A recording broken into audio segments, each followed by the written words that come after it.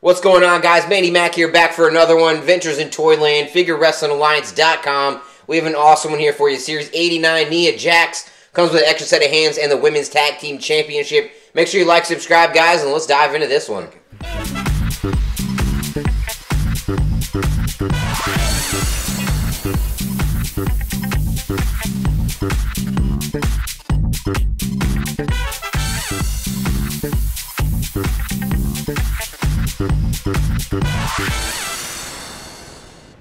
Right off the bat, guys, you got your typical Elite Collection artwork on the front and on the side. As you can see, you get the WWE Women's Tag Team Championship, one of them. You get an extra set of hands.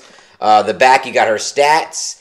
And uh, as you can see in this line, guys, you got Drew McIntyre, Dominik Mysterio, Bobby Lashley, Damian Priest, uh, Heel Sergeant Slaughter, and Nia Jax. This is Series 89.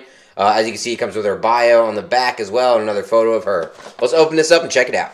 All right, I like it. I think the likeness is definitely there the durability, the movability, uh, the women's championship tag championship which comes with the extra set of hands. Love it. I think they did a great job with this figure. Awesome one to have in the collection. I'm gonna give this one, guys, a nine out of ten. What do you guys think? Uh, make sure you like, subscribe, check us out, XWW Wrestling on YouTube. Don't forget XtremeTVOnline.com. This has been Manny Mac with Figure Wrestling Alliance and Adventures in Toyland. We'll see you next time.